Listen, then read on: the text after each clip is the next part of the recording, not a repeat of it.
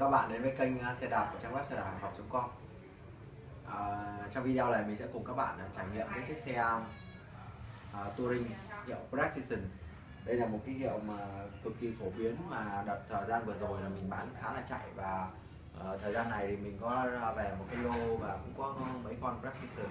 Và như uh, chiếc xe này thì mình cũng đánh giá là cái chiếc xe khá là khá là đẹp khoảng là 90 trên 90 phần trăm. Và đồ này là cũng theo mình đánh giá là cực kỳ là phục tùng là rất là chất. Như các bạn là nhìn tổng quan qua thì xe được trang bị phanh à, Techo cũng lại là một cái phanh mà rất là phổ biến ở trên xe đạp. Mà Techo này, dòng này là tốt hơn này. dòng này là nó có cái tem nổi. Mang lại cái sự ổn định khi phanh tốt hơn. Xe được trang bị à, một cặp lốp là Pala dây sơ hiệu của xe lốp của Palasolic lốp Palasolic quả 700 x 25 C lốp này là lốp ờ, của hãng Panasonic thì cực kỳ tốt rồi. Các bạn thấy là cái quả ta lông lốp là gần như là mới. Ta lông lốp không bị mòn nhiều. Xe này cũng ít chạy. Xe bánh vành bánh 700C à, vành hai lớp. Vành nhôm hai lớp cứng cáp. Hiệu Precision. Xe được trang bị ờ, đôi tay bấm xả 8 số 8 tốc độ. Và có một cái tay nghỉ như này theo mình thì đây là người đây là cái người dùng tại Nhật, người ta lắp như này, để người ta nghỉ như này. Cầm như này. Còn ờ, đúng ra cái tay này nó sẽ được lắp lên bên ngoài như này. Nó có hai cái nắp, có thể là nắp bên ngoài để mà chống ờ, tì tay bên ngoài hoặc tì tay bên trong đều được. Sẽ đi rất là nhẹ, cầm thoải mái. Thì đương nhiên là như tất cả, hầu như những chiếc xe mình bán trong cửa hàng này đều xe được ờ, chế tạo bằng cái khung nhôm hợp kim nhôm rất là nhẹ.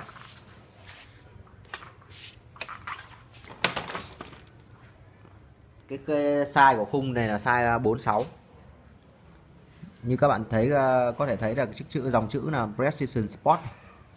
Xe đạp thể thao của hiệu Precision này. Frame size là cái cỡ khung này. Là 460 mm có nghĩa là 46 mm thì cái cỡ khung nó sẽ tính bằng cái khoảng cách từ trục cho đến à, cái khóa yên thì à, cách đo như thế nào thì các bạn à, tìm lại trong kênh của mình. Mình có một cái video mà hướng dẫn đo size khung xe đạp thể thao. À, thì các bạn có thể biết được cái cách đo ờ, khung.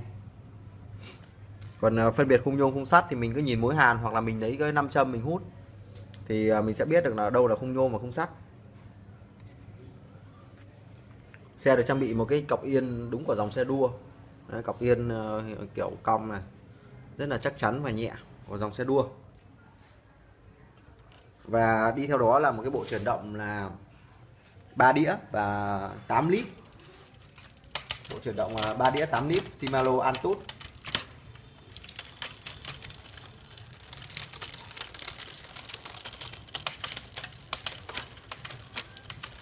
xe lên xuống xuống số rất là nhịp nhàng. Shimano Antutu ờ, uh, 8 đĩa à, 8 lít 3 đĩa. Nên là cho chiếc xe có 24 tốc độ giúp chúng ta di chuyển được trong các cái địa hình với nhiều tốc độ hơn để cải biến tốc độ. Giúp chúng ta có thể tập tập thể dục tốt với những nhiều cái quãng đường cái địa hình đường khác nhau. Nên chiếc xe này thì chỉ có giá khoảng gần 5 triệu đồng. À, nếu mà các bạn muốn biết giá chính xác thì hãy liên hệ với mình qua số điện thoại. Ờ, như ở dưới video mình đã đề dưới video. Và nếu mà các bạn quan tâm đến xe đạp thể thao thì hãy ấn đăng ký kênh. Bên cạnh nút đăng ký thì ấn hình chiếc chuông để các bạn là những người mới nhất được YouTube uh, YouTube ưu tiên hiển thị những cái video mới ra của mình. À, xin cảm ơn các bạn. À, các bạn hãy ủng hộ mình bằng cách ấn like video. À, để mình có những động lực làm những video mới. À, xin cảm ơn các bạn đã xem video. Hẹn gặp lại các bạn trong video lần sau.